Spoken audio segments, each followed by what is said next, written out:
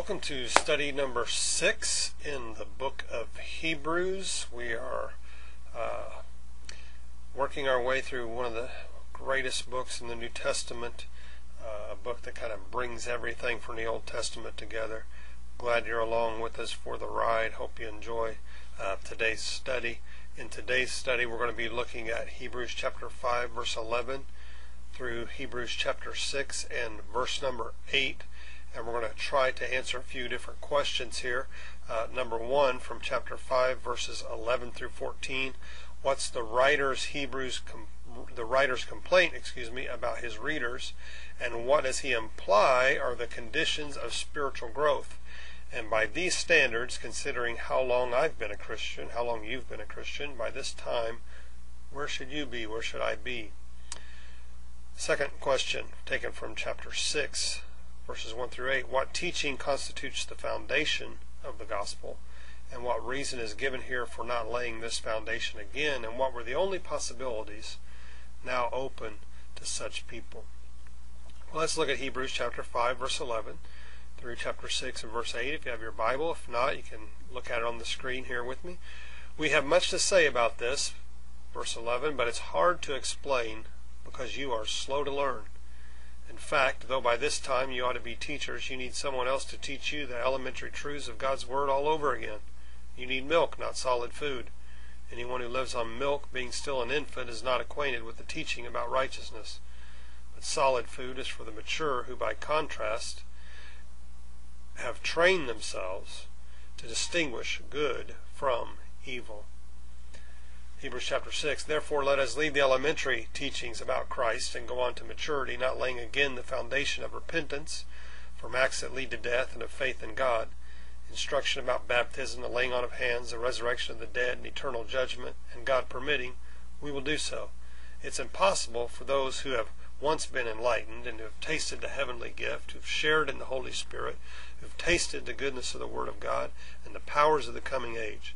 If they fall away, to be brought back to repentance, because to their loss they are crucifying the Son of God all over again and subjecting him to public disgrace. Land that drinks in the rain, often falling on it, and that produces a crop useful to those whom it is whom it is farmed, receives the blessings of God. But land that produces thorns and thistles is worthless, is in danger of being cursed. In the end, it will be burned. Let's look back again at question number one. What is the writer's complaint about his readers, and what does he imply are the conditions of spiritual growth? And by these standards, consider how long you've been a Christian, and by this time, where ought you and I to be? Well, the writers of Hebrews, writer of Hebrews, and we say writer of Hebrews because we don't know who wrote the book. Uh, the writer of Hebrews complains uh, that his readers still haven't matured in the faith.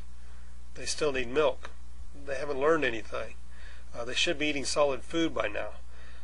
Nothing is more depressing in ministry uh, than to see what should be mature Christians that are still living on spiritual milkshakes just because of their inability to cope with the full reality of the Word of God.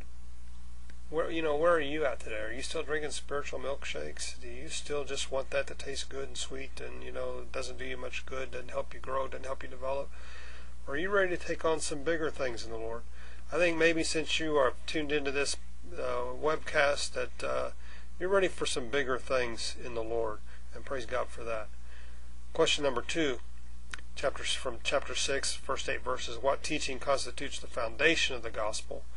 And what reason is given here for not laying that foundation all over again, and what were the only possibilities now open uh, to such people.